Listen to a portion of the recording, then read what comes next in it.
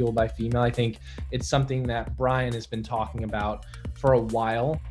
It helps support females, but it's something that men can take, right? If if men are looking for better skin, right? There's ingredients in there that help improve skin quality, uh, overall texture, uh, elasticity, things like that. If we kind of look at the overall profile, what separates this from Nat, right? What what ingredients are kind of added in on top of Nat? You're looking at some of these vitamins, vitamin D, uh, vitamin E, right? Vitamin D, one of the reasons why we put that in there, I know it gets talked about a lot. We're going into a season where it's going to be very difficult to get a lot of vitamin D in a lot of areas. So it's super imperative to, to supplement with it. Vitamin E, improving skin.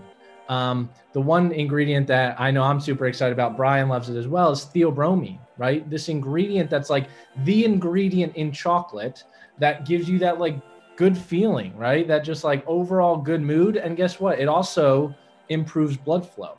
So it kind of has both of those qualities along with it. And then also having things like licorice root extract, which is very beneficial for women, bilberry extract, which is a super powerful antioxidant but has also been shown to help improve skin quality. Overall, it comes down to kind of balancing things out when it comes to just overall vitality and health. It comes to finding ingredients that can come together to kind of really help support that. We know and we talk at lengths about the benefits of ketones and and kind of the base or the foundation in which this formula was built.